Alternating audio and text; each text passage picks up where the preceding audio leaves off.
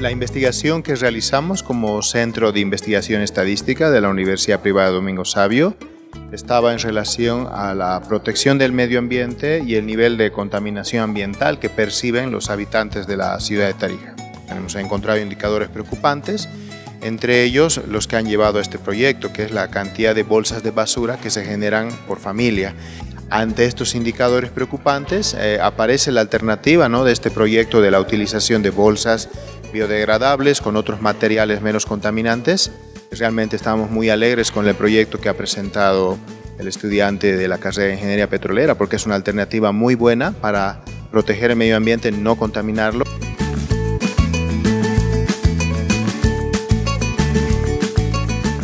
El proceso para realizar la bolsa es una combinación de elementos que eh, en su base más que todo es agua y fécula de maíz lo cual nos llevaría a obtener una tipo silicona y esto ya sería digamos nuestra materia prima para utilizar las bolsas biodegradables. Podría aportar a una alternativa al, al uso de las bolsas plásticas y que sería un, un método más saludable para el medio ambiente. La cualidad de la bolsa es biodegradable, que nos ayuda a cuidar más el medio ambiente que las otras bolsas, porque esta, con el contacto con el agua, se va disolviendo en trozos más pequeños y ya totalmente se disuelve y no tarda más como las otras bolsas comunes, ¿no?